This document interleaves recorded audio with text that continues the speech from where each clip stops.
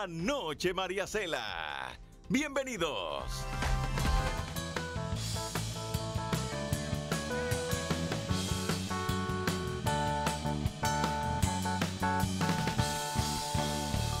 Vamos, vamos, vamos. Buenas noches. Bienvenida familia. Estos mexicanos que no tienen fama de ser muy buenos bailadores, los estoy poniendo a bailar. fama. Fama es realidad, Fama de ser malos No, no, bailadores. es realidad. ¿Qué pasa con los mexicanos? Comparados con ustedes, somos No, lo más patético que hay bailando. O sea, Pon, tócamele otra vez a ver si se me mueve, Raúl. no,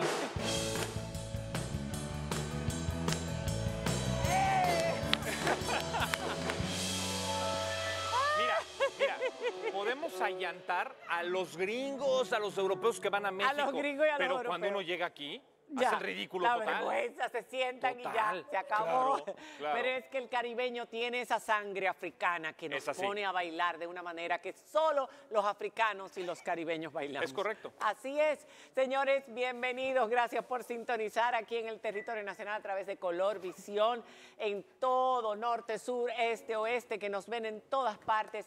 El poder de penetración que tiene la televisión no lo tiene ningún medio y eso ha quedado más que claro en esta etapa de pandemia, pero también a los que nos ven a través de televisión dominicana en los Estados Unidos, en las islas, en Canadá. En, un beso a los de Miami. Que Y nos por siguen internet, María. Cela, porque En por internet nos ven de todo el mundo literal. Y en España, en Europa, en todos lados. Eh, España y Europa están en el mismo sitio, en el mismo continente. Tú sabes. Pero bueno, los dominicanos están más en España y en Italia que en el resto de Europa, pero nos siguen también. Gracias de verdad por sintonizarnos. En el día de hoy yo traicioné a mi compañero Total. que eh, había decidido que teníamos que ponernos jeans todos los jueves y a mí se me olvidó, perdóname mi vida. No, Pero te bien. ves mejor en jeans, que lo diga al público en su casa a través de nuestro Twitter. Raúl se ve mejor en jeans que en saco y corbata, que lo digan. Que lo digan y lo manifiesten porque jueves de J de jeans se vale. Hoy estoy haciéndole bullying a, Raúl porque como no tenemos a las otras dos mujeres, me siento en libertad. Ah, válido, válido. Camila que no pudo venir, un compromiso fuera de la ciudad y Faride también, pero eh, estamos nosotros dos y tenemos un contenido Equipados. muy bueno, así que vamos a sentarnos y nos vamos con la Diana inmediatamente.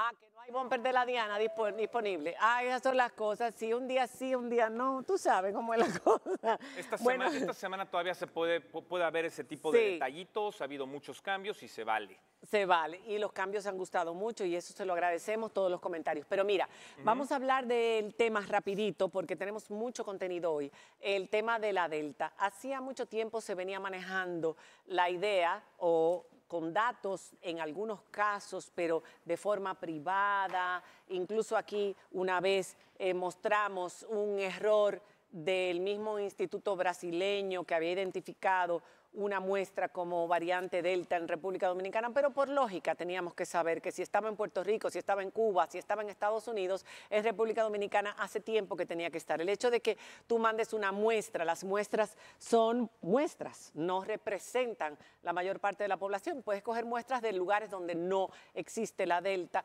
cuando no se ha diseminado lo suficiente. Pues parece que ya sí se está diseminando lo suficiente porque cinco de las muestras que llegaron en el día de ayer, según el Ministerio de Salud Pública, que nos informó en el día de hoy, cinco de estas muestras dieron positivos a Delta. Estas muestras corresponden a la provincia Duarte, a la provincia de San Cristóbal, a Santo Domingo y a la Altagracia. Dos de la provincia Duarte y una respectivamente de las otras tres provincias.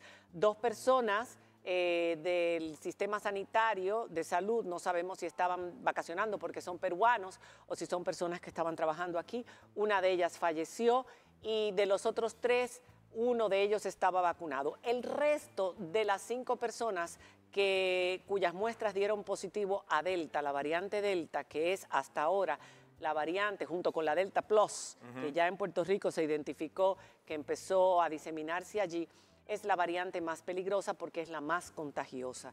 Uno de ellos falleció de los peruanos, pero lo que indica es que eh, las personas no vacunadas son más proclives a adquirir esta variante que se disemina mucho más rápidamente. Por eso la misma, el mismo Salud Pública estaba invitando a la gente a continuar el proceso de vacunación, que tenemos vacunas suficientes incluso para donar a otros países, lo cual yo encuentro fenomenal, muy bien, y que debemos a finales de año poder lograr más del 70%, porque ya se sabe que para lograr esa inmunidad de rebaño de la que tanto se habla científicamente hablando, no es suficiente el 70% de personas vacunadas.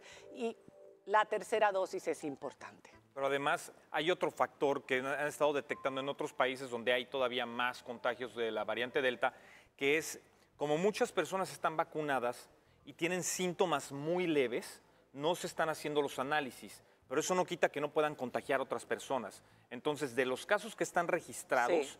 se sabe que son mucho Sí, más los que es. realmente andan danzando por el mundo, porque quizás tienen síntomas mínimos o no tienen síntomas, pero eso no quita que no puedan eh, contagiar, que ahí es donde también está el peligro. Sí, señores, y hablando de otro tema, no vamos a profundizar, ya ayer estuvimos dando datos, incluso hablamos de la persona que, que una de las personas implicadas en el caso Falcón, que se descubrió después, Ana Margarita Collado Marte, que trabajaba en la oficina del procurador Jean Alain Rodríguez. Como decíamos ayer, eh, y ahora apareció la esposa también del director de Comunidad Digna, que era diputada, también como eh, imputada en este caso de narcotráfico y lavado de activos, que ha sido uno de los más grandes que se ha descubierto en República Dominicana o que en este caso, junto con las autoridades norteamericanas, DEA, están eh, eh, dirigiendo la investigación, nuestro Ministerio, de, Ministerio Público, porque esto no ha terminado.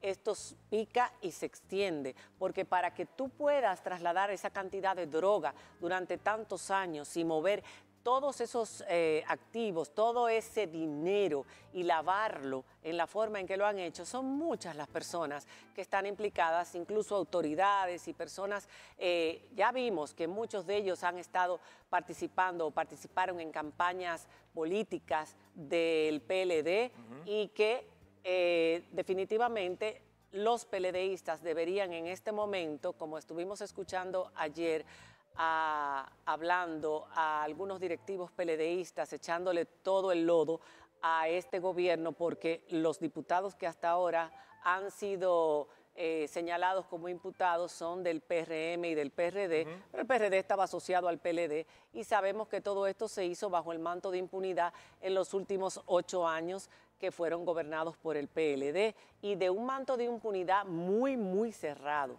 más que el de César el Abusador o paralelo al de César el Abusador, que creíamos que era el más grande hasta ahora dentro del PLD, pero ya vemos que Randiel Mosquea era todavía un capo más importante por las implicaciones a nivel internacional que tenía su mafia, su red de narcotráfico. Lo que es el lavado de dinero, los delitos sexuales y los ciberdelitos son los tres tipos de delitos que son los Sí. más difíciles de comprobar. Y bueno, aquí estamos viendo claramente que el de lavado de dinero es bastante difícil de comprobar, Sí. pero hay que darle el mérito a- o el crédito a las autoridades que lo están haciendo y lo están haciendo bastante bien. Y una pequeña crítica rapidito, porque en el día de hoy se hizo trending topic el tema de la Entre Biblia ayer y también. hoy, Biblia ha sido una palabra que ha estado sonando muchísimo en las redes sociales. Y una vez más, es el resultado de que la gente no está leyendo bien las noticias y algunos medios han enfocado su atención en lo que dijo el ministerio, que iban a dar muchísimos libros gratis, los iban a dar en las escuelas para que los leyeran Qué los, bueno. los niños como cultura general. Y uno de esos libros es la Biblia. No es que los obliguen, los pongan a leer la Biblia para quienes están en contra de eso, no. Pero sin lugar a dudas, María Cela, que la Biblia es un libro de cultura general que se tiene que leer Mira. y más en un país en donde está en la bandera. La religión católica es la religión predominante. La religión cristiana, vamos a decir, entre evangélicos Sí. y católicos, es la predominante en República Dominicana. El hecho de que eh, sean escuelas eh, seculares, escuelas laicas, escuelas de públicas de un Estado laico, no significa que tú no debas enseñarle a los niños cuál es la religión, en qué consiste. Y la Biblia es el libro más importante de esa religión precisamente. Y el libro más leído en el mundo entero. Es decir, cuál es el problema de hacer hincapié en que se está repartiendo la Biblia en las escuelas como se están repartiendo muchos otros libros. Señores, vamos a dejar de tratar de polemizar. Perdón, Polemizar. polemizar y llamar la atención a través de titulares porque en un momento que si se lea la Biblia, que si no se lea, una cosa es evangelizar y eso se hace en las escuelas católicas. Y otra cosa es enseñar a los, a los chicos sobre, la, eh, sobre cultura general, sobre la historia de su país, la religión que fundó el país y que todavía sigue siendo la mayoritaria, en fin. Pero, además, lo más curioso de eso es qué bueno y ojalá que así como les den la Biblia, también les den uno donde hable de la evolución de las, teorías de Darwin. Eso sería sensacional. Es que eso lo dan en las escuelas. Exacto. Que por supuesto es parte de la historia. Señores, nos vamos, digo, de la ciencia. Nos vamos ahora al tema de, son muchos, tenemos varios invitados, pero nos vamos ahora con John Péame. Normalmente no empezamos